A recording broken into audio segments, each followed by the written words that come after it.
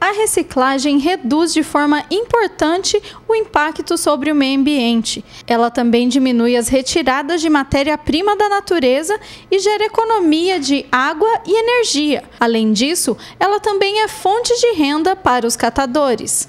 A ONG nós trabalha, nós recebe a coleta da, que é feita pela Sanetran e nós trabalha assim, classifica vende, cada material tem o seu preço, nós entrega e divide, tira a despesa, o que sobra nós divide para fazer pagamento para nós. Então nós é associado. Hoje vocês fazem a classificação e a reciclagem de quantos materiais? Ai, tem bastante, acho que deve ter uns 30 mais ou menos. Nós não tem, nós não tem renda nenhuma a não ser daqui. Aqui só tem pessoas que, que nem pais de família, mãe de família, que às vezes, que nem por exemplo, tem pessoas que foi mandada embora esse tempo atrás, está trabalhando com nós, tem associado que está querendo voltar, mas eu não posso nem pensar em pegar, porque nosso material caiu muito. E não é tanto pela crise, não, é mais pelos invasores mesmo.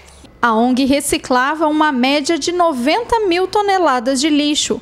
Atualmente, o valor caiu para 35 mil toneladas. A maior dificuldade enfrentada pela ONG é que os coletores não oficiais estão indo antes da chegada do caminhão.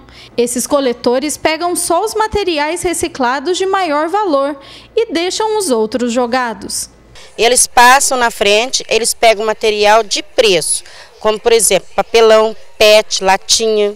Isso é o que material que tem preço. O que não tem preço, que é leite, terceira, é aqueles é vidro, é que, por exemplo, eles, eles trazem até vidro para jogar aqui no aterro, porque nós vende, eles jogam. Entendeu? Porque eles não catam, eles só catam aquilo que vira dinheiro rápido, que tem venda rápido.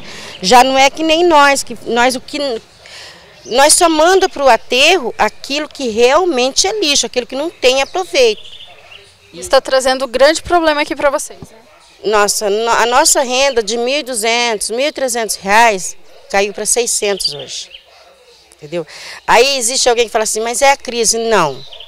Lixo gera lixo sempre, mesmo com crise ou sem crise.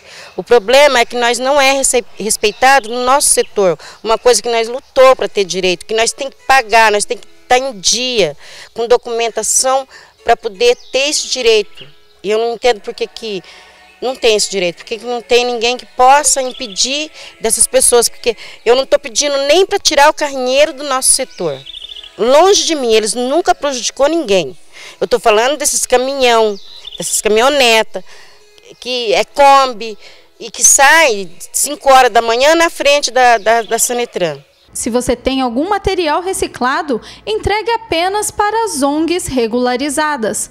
Caso não esteja recebendo esse tipo de coleta ou queira denunciar pessoas que não estão habilitadas para esse serviço, entre em contato pelo telefone 99684 9801.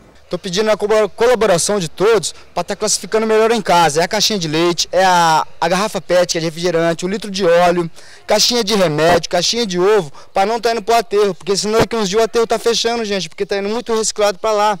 Reciclado tem que ser reciclado, reciclável.